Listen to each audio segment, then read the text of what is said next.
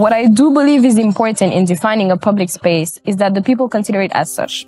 I think it's important that there is this developed sense of ownership. So, for example, when you go to the Sacré-Cœur neighborhood, there is very little to no public space, and the ones that do exist, they're not really inclusive and or respectful enough of nature.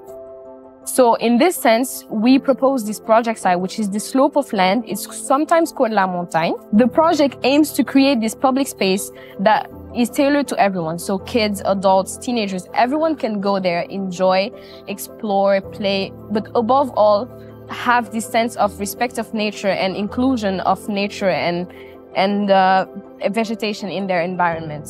So the main problematic was the slope. So we had to break down the slope of the, of the site to create these platforms and have usable space.